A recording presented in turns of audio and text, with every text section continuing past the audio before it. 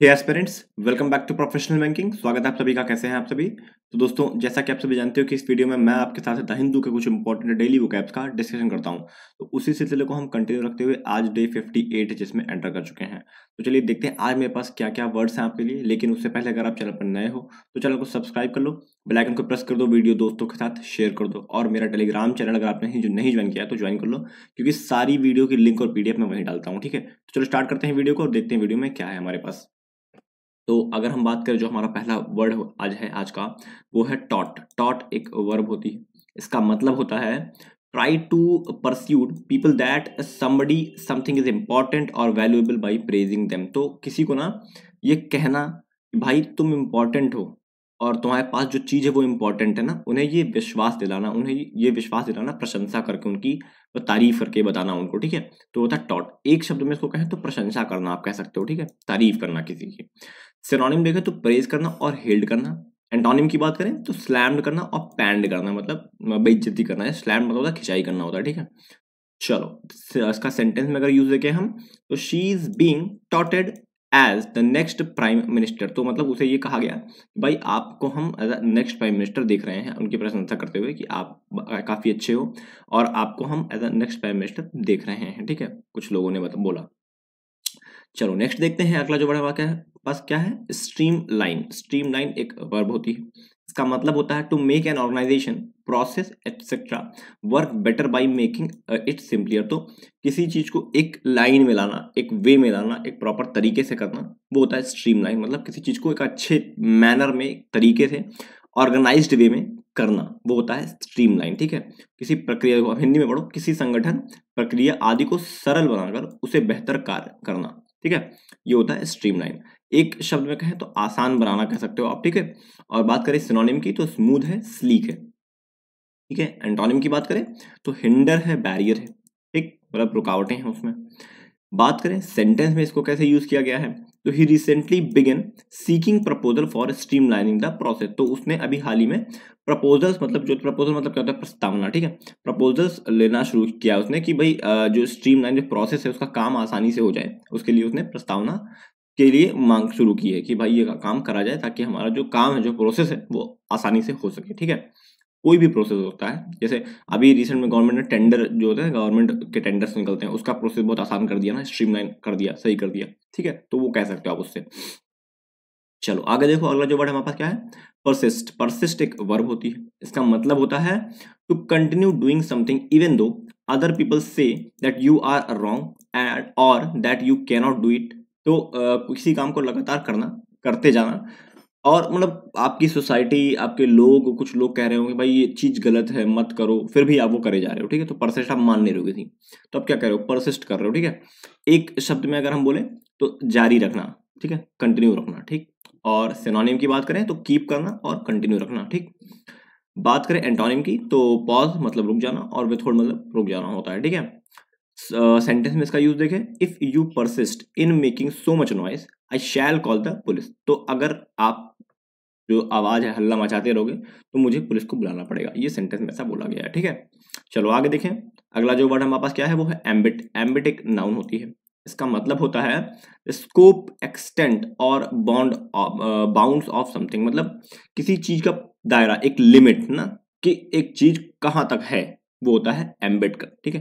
कि कोई पर्टिकुलर चीज़ कहा, जैसे मान लो कि आपके जिस स्टेट में रहते हो, जैसे मैं यूपी में रहता हूँ तो यूपी का दायरा कितना है ना? तो एम्बेड कहते हैं यूपी के एम्बेड कितनी है? पूरा जो एम्बेड है, ये जैसे मैं यूपी के आखिरी स्टेट में पहुँच जाऊँ और वहाँ पे उसके बाउंड्री पे खड़े के बोलो, ये यूपी का एम्बेड है, ये यूपी का दायरा है, ठीक है? ये कह सकते हो आप।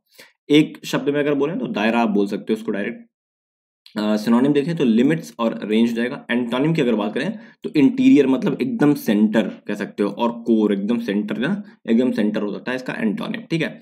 बात करें सेंटेंस में से कैसे यूज़ किया गया है? तो this case falls clearly within the ambit of the twenty sorry two thousand one act तो ये जो केस है, ये 2001 के एक्ट के दायरे के अंदर आता है, ठीक है? ये क्लियरली दिख रहा है। चलो, आगे देखें। अगला जो वर्ड है हमारे पास, वो क्या है? वो है स्नूप स्नूप एक नाउन होती है। इसका मतलब होता है to look around secretly and without permission in order to find out some information तो कहते नहीं कि मतलब अब एग्ज़ाम्पल दूँ कि कहते नहीं कि अगल बगल जब आपके घर में कुछ हो रहा होता है, मान लो थोड़ा बहस हो रही है, लड़ाई झगड़ा हो रहा है तो अगल बगल वाले लोग क्या कर रहे हो? ताक झाक कर रहे होते हैं या आपके घर में कोई अच्छा काम हो रहा है, बढ़िया चीज़ चल रही है तो अगल बगल के लोग क्या करते हैं? आके चेक करते हैं क्या हो रहा है, क्या हो रहा है। तो वो स्नूप कर रहे होता है, ठीक है? तो कई बार ऐसा है कि आप आप कहीं से आते हो, घूम फिर के आओ आगे बगल में आंटी आ गई और देखने लगी कि ताक झाक कर रही है, क्या हो रहा है। उसका मतलब है कि आंटी जी क्या कर रही है स्नूप कर रही है। तो आप अगली बार पूछ सकते हो उनसे कि, aunty ji why are you snooping है ना? ये कह सकते हो आप। तो जानकारी का पता लगाने के लिए गुप्त रूप से बिना अनुमति के चार चारों ओर देखना, ठीक है? किसी इंफॉर्मेशन को गैदर करने के लिए आप चुपके से कहीं जाकर देख रहे हो, ताका झाकी कर रहे हो, उसको बोलते हैं स्नूप ठीक है? तो एक शब्द बोलो तो ताक झाक करना हो सकता है इसका, ठीक है? और सिनोनिम की बात करें तो प्री, ठीक है? और इंक्वायरी दोनों ही, प्री का मतलब ही ताक झाक होता है, ठीक है? और इंक्वायर करना, ठीक है? और एंटोनिम की बात करें तो अवॉइड करना इग्नोर करना मतलब कोई मतलब नहीं उस चीज़ से। बात करें सेंटेंस में कैसे यूज़ किया गया है तो she suspected that her neighbours visited just to snoop on her तो उसे ये शक हुआ कि उसके नेबर जो आए थे घर में, वो मिलने नहीं आए थे, बस उसे स्नूप करने आए थे ताका झाकी करने आए थे कि उनके घर में क्या चल रहा है, ठीक है? ये बताया गया सेंटेंस में। चलो, आगे देखें, अगला जो वर्ड हमारे पास क्या है, वो इम्प्लीकेशन इम्प्लीकेशन एक नाउन होती है, इसका मतलब होता है the effect that something will have on something else in the future तो किसी चीज़ का इफ़ेक्ट आज कुछ काम करो, उसका इफ़ेक्ट आपके फ्यूचर में पड़े, वो होता है इम्प्लीकेशन ठीक है? मतलब आज अगर आप पढ़ाई करोगे तो उसका इफ़ेक्ट पड़ेगा कि आपका एग्ज़ाम क्लियर हो जाएगा। आज नहीं पढ़ोगे तो एग्ज़ाम नहीं क्लियर होगा, ठीक है? ये बता एग्ज़ाम्पल के थ्रू समझा रहा हूँ। तो इसका एक शब्द बोलें तो प्रभाव पड़ना इम्प्लीकेशन में प्रभाव पड़ना किसी चीज़ का, ठीक है? सिनोनिम की बात करें तो इन्फ्लुएंस और इंप्रेशन एंटोनिम की बात करें तो डिस्यूड और एक्सक्लूड इसके एंटोनिम हो जाएँगे। बात करें इसको सेंटेंस में कैसे यूज़ किया गया है? The new law will have serious implication for our work तो जो नया कानून आया है, उसका बहुत ही ज़्यादा सीरियस इम्प्लीकेशन पड़ने वाला है हमारे काम पर, ठीक है? ऐसा सेंटेंस में बोला गया है। चलो, आगे देखो, अगला जो वर्ड हमारे पास क्या है? कंटेंशियस कंटेंशियस एक एडजेक्टिव होता है, ठीक है? इसका मतलब होता है लाइकली टू कॉज आर्ग्यूमेंट मतलब कोई ऐसी चीज़ ना, जिसके थ्रू आप आर्ग्यूमेंट कर सकते हो, कोई ऐसी चीज़ जो आपको आर्ग्यूमेंट करने का मौका दे रही हो मतलब बहस का कारण बन रही हो, ठीक है? वो होती है कॉन्टेंशियस ठीक है? विवाद कह सकते हो आप एक शब्द में इसको। और सिनोनिम की बात करें तो डिबेटेबल और कंट्रोवर्शियल हो जाएगा, ठीक है? और अगर बात करें इसके एंटोनिम की तो क्लियर है प्रोनाउंस से कोई डिबेट नहीं है उसमें, ठीक है? और सेंटेंस को थोड़ा आप इसको समझ जाओगे अच्छे से। This evidence supports their contention that the outbreak of the violence was prearranged तो जो एविडेंस है वो कंटेंशियस है मतलब कंटेन कंटेंस बना मतलब कारण वाला, उस विवाद का, उस एविडेंस ने ये प्रूफ कर दिया कि भैया जो विवाद हुआ था, जो जो जो वायलेंस हुआ था, वो पहले से ही अरेंज था, पहले से ही पता प्रिपेयर किया गया था कि इसको जानबूझ के करना है, ठीक है? तो ये एविडेंस जो है, वो विवाद का कारण बना ठीक है? ये कह सकते हैं। चलो, आगे देखें। अगला जो वर्ड है हमारे पास वो है स्क्रू प्यूलियस स्क्रूप्यू ये बहुत खतरनाक है इसका प्रोनाउंसिएशन स्क्रूप्यूलेसली स्क्रूप्यूलेसली ठीक है? स्क्रूप्यूलेसली ठीक है? और एडवर होता है ये, बहुत बार इसकी प्रैक्टिस किया हूँ, लेकिन फिर भी नहीं बोल पाया हूँ।